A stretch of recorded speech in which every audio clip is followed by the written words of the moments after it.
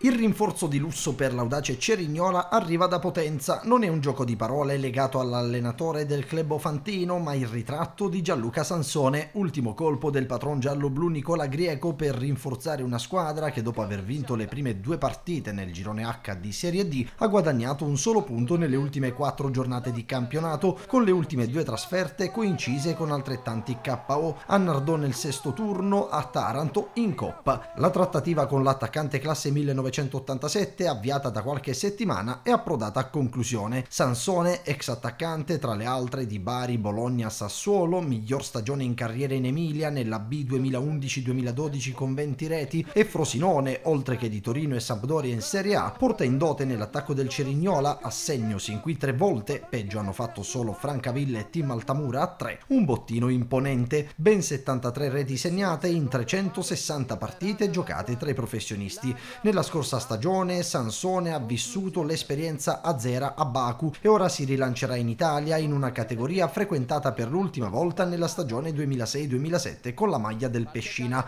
Allora le reti furono 8 in 31 partite. Non sarà però a disposizione nella sfida di domenica al Monterisi contro il Bitonto, seconda forza del campionato alla pari con Gelbison, Brindisi e Fasano a quota 12 punti. Si attendono squadre schierate a specchio con il 3-5-2. Potenza dovrebbe affidarsi a Di Cecco in regia e al duo Marotta lo Iodice in avanti, mentre Roberto Taurino su sponda nero-verde dovrà valutare le condizioni di Lattanzio e Biason, acciaccati dopo la vittoria interna sul Gravina dello scorso turno.